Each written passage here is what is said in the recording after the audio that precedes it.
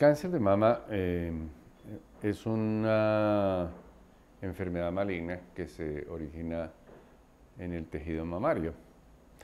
Eh, el, el, más frecuente se llama cáncer ductal y se origina en las células que recubren los conductos mamarios. Y una variedad mucho menos frecuente se llama lobulillar y se origina en los acinos de la glándula, en donde se eh, está produciendo la leche. Finalmente, la diferencia entre los dos no vale mucho la pena en el sentido de que los dos hoy en día se tratan como una sola entidad, tienen la misma aproximación diagnóstica y terapéutica y un pronóstico bastante similar eh, cuando se comparan uno a uno todos los, dos tipos de cáncer. Eh, esta enfermedad maligna pues es igual a cualquier otro cáncer, es simplemente la proliferación no controlada de las células lo que da origen a que vayan creciendo y vayan creciendo y después formando tumores hasta que llegan a un punto en que comienzan a expandirse a otros órganos, que es lo que se llama metástasis.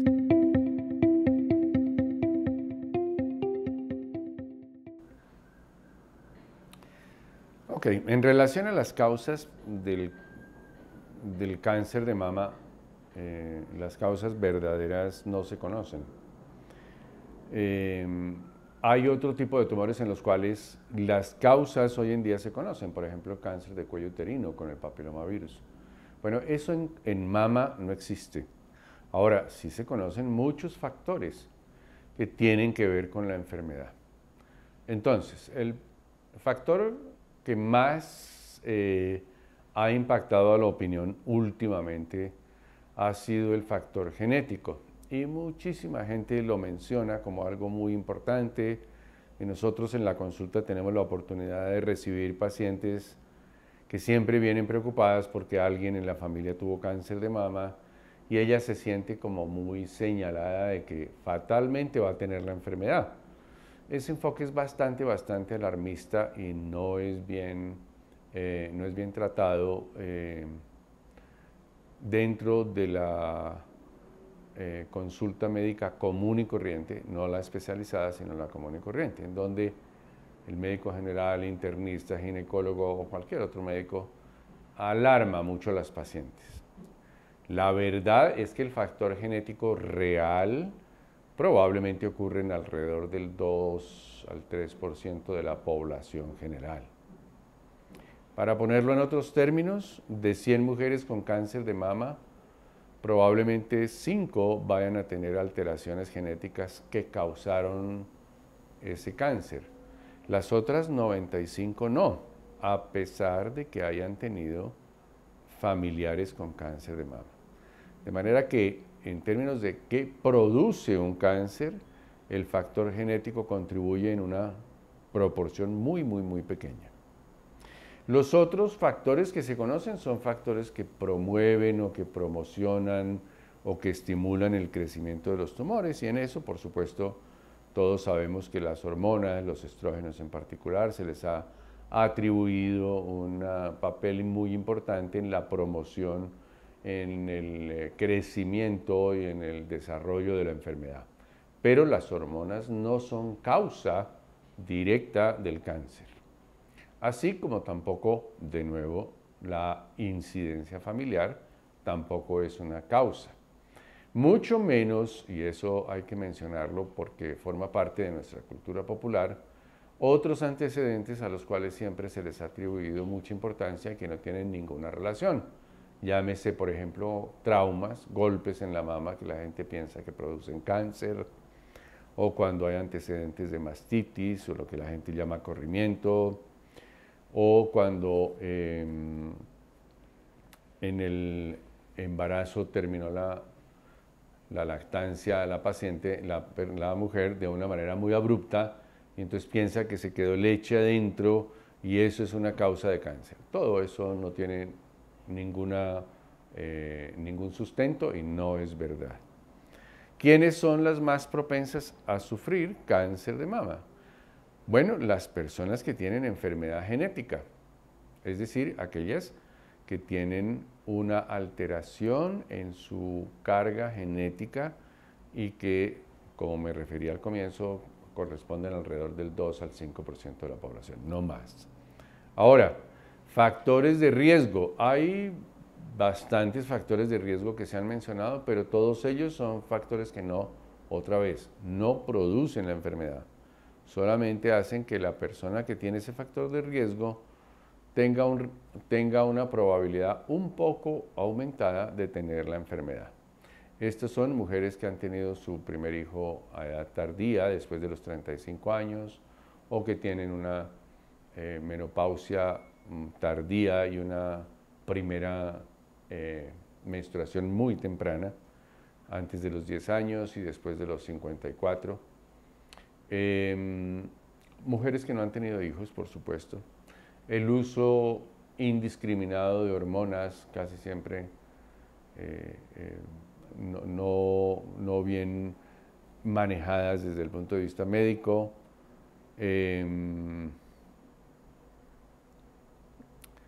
Y yo diría que esos son como los factores. Y obviamente la alta incidencia de cáncer de mama en la familia. Creo que esos son los factores de riesgo.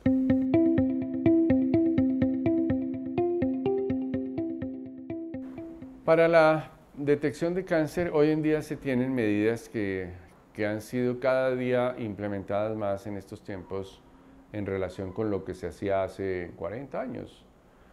Hace 40 años no se tomaba ninguna medida activa como para buscar un cáncer de mama. Simplemente la persona percibía una alteración en su mama, llegaba donde el médico y resulta que esa alteración era cáncer esa enfermedad casi siempre era una enfermedad avanzada y su pronóstico era bastante, bastante reservado.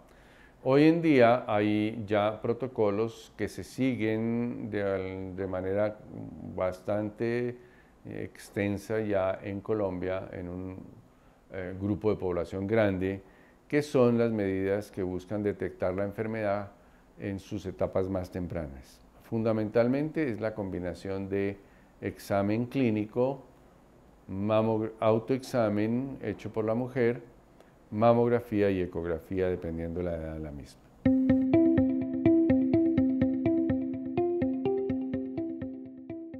Bien, entonces eh, eh, el autoexamen es fundamentalmente un método que busca que la paciente, que la persona, que la mujer conozca a su mama de una manera confiable, eh, se basa en la repetición de la palpación de la mama de manera mensual y busca que la mujer logre un grado de conocimiento y de familiaridad con su mama a la palpación lo suficientemente bueno como para que esté en capacidad de percibirse algún cambio.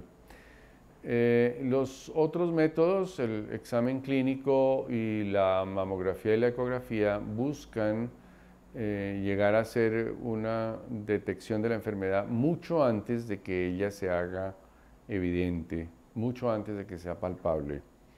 Hoy en día tenemos ya una eh, realidad y es que en algunas de las compañías eh, de salud de, Colombia ya se hace un porcentaje de detección temprano de alrededor del 30%, datos extraoficiales, no recién revisados por nosotros eh, hace poco en una em, en una reunión que tuvimos con algunas EPS. De manera que esa metodología, ¿qué es lo que hace finalmente?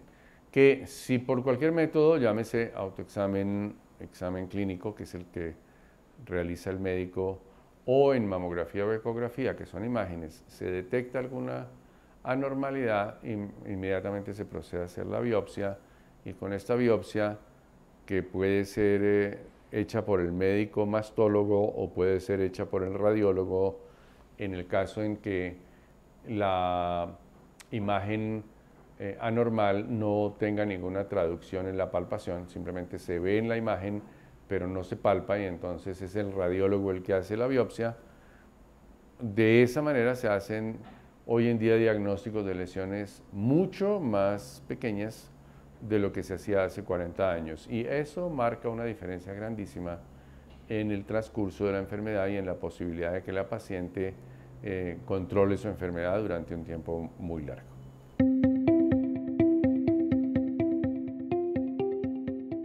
Los tratamientos que se usan para, eh, el cáncer de la mama eh, son cirugía, radioterapia, quimioterapia, una cosa que se llama terapia dirigida y em, digamos que ahí queda y hormonoterapia, o sea, terapia que busca manejar el ambiente hormonal de la paciente. Em, cada uno de ellos, para hablar de una manera muy general, ha tenido progresos muy, muy, muy significativos en términos no solo de que cada día son menos agresivos esos tratamientos, sino que son más efectivos. Así, hoy en día la cantidad de pacientes que pierden su mama por cirugía es mucho menor a lo que se hacía hace 30 años. Eh, hoy en día un porcentaje mucho más alto de pacientes reciben quimioterapia que les es muy útil y muy efectiva, lo que antes no se hacía.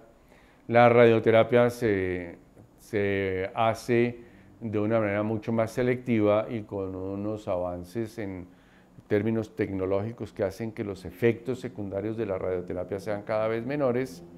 Y finalmente lo que llamamos terapia dirigida y hormonoterapia, que son terapias que buscan manejar a la paciente a largo plazo con em, drogas que son muy, muy, muy bien toleradas, con muy pocos efectos secundarios y con una efectividad muy grande.